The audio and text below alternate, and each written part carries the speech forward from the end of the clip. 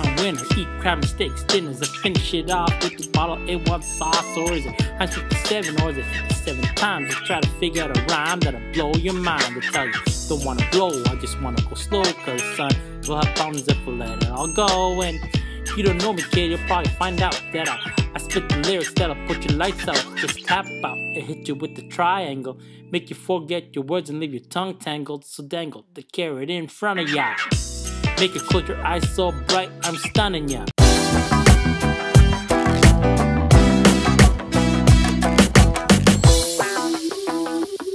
Hi everybody, welcome to Little D Cooks. And you know what? Today I want cake pops, but I have no cake. So I found this little box here that has how to make your own super moist cake. It's a yellow cake. I like yellow cakes because I'm yellow. No, I'm brown.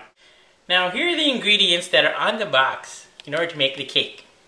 You have water, you have three eggs, a quarter cup of uh, vegetable oil or canola oil, what kind of oil, whatever you want to use. Some pan cooking spray and the mixture that's inside the box for the cake. So all you have to do is basically take everything in here and put them in this pan, a cake pan that's about uh, 9 by 13. So I don't know what 9 by 13 is. What's that when you multiply it? 13 times 9 is divide by 4 and you get a lot of numbers. I don't know, too big for me. Anyway, you take everything and you just put everything inside this bowl. Make sure your bowl is big enough. You crack all the eggs in there and you put them in and you put all your wet ingredients. So I'm to do that right now with the oil. Then I'm to take the whopper. So you put everything in here. Again, all the ingredients and the proportions of what you need to put in here is on the box. Take your three eggs. Make sure you don't get any of the egg shell in there or else you'll have a crunchy cake. You don't want a crunchy cake. You want a super moist cake. Take everything in here. Here's the third egg. One, two, three eggs. Now this is a good thing to have uh, to make as a gift if you don't have any money. Like me, I want list of kids, so I'm just making my gifts. And since Valentine's is coming up, I'm gonna make cake pops for all my friends. So I just mix it like this. So what I'm doing is I'm mixing the bowl here, this. And while I'm doing that, I also have my oven preheated to 350 degrees. That's hot. So make sure that you're stirring it till it's nice and smooth.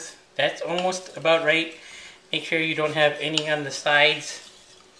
So you can just, no big lumps, no lady lumps, no lovely lady lumps. And now you take your cake pan and make sure you spray the whole cake pan with pan. So you got an even coating of spray, just like this. Pour your cake mixture into the cake pan.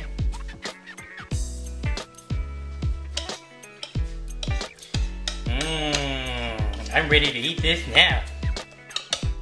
So now you have your cake mixture inside your cake pan and I'm gonna put it in the oven. So here we go. This oven here is heated to 350 degrees. Put it in just in the middle, just like this. Now you set the timer to 35 minutes. Whoa, that's too much. Nope. 35 minutes. And once it's set, you just set it and forget it. so what I want to show you guys now is all the stuff that you need in order to make your cake pops nice. So what we have here is a chocolate melter or you can use a double boiler to melt your chocolate. these are the different chocolates that you have. They're called chocolate melts and you can get them at any craft store or baking supply store. You also want to have some kind of sprinkles to decorate your cake pops. A nice sturdy styrofoam block here. You can also get that at the bake shop or craft store. And these uh, basically lollipop type sticks that will be used to make your pops. Once you make your pops, you stick them in here like this. You make a hole so it holds and let it dry.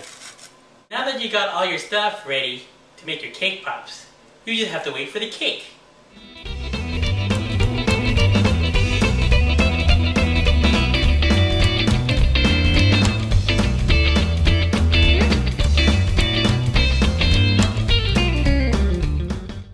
Now that we have the cake finished, what I did was crumble it. And what I'm going to do is prepare it so that I can make the cake dough. Here, I'm putting in the icing.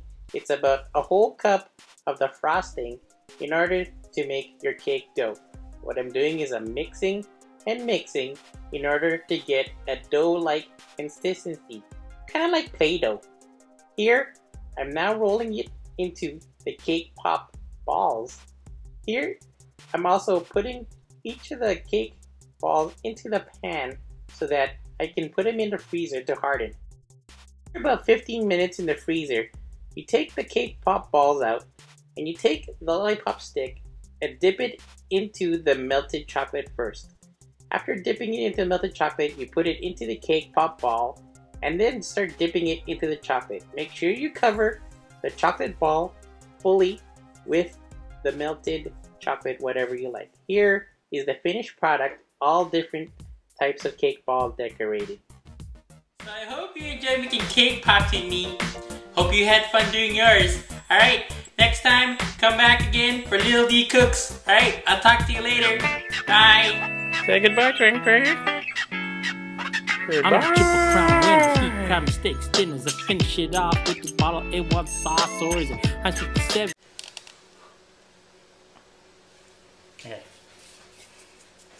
Okay, you good? Okay. Hi, everybody. so these are the types of things I have red and blue, red and blue. Pink.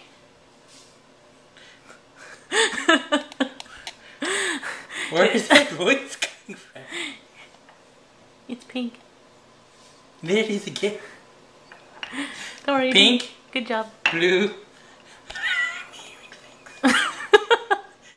I don't know what 9 by 13 is. What's that when you multiply it? Is it like 40? Oven to 350 You degrees. can, you can do you can oh. You can, you can videotape me while I say that. Oh. 350? Hold on, wait, wait. Let me. Yeah, there you go.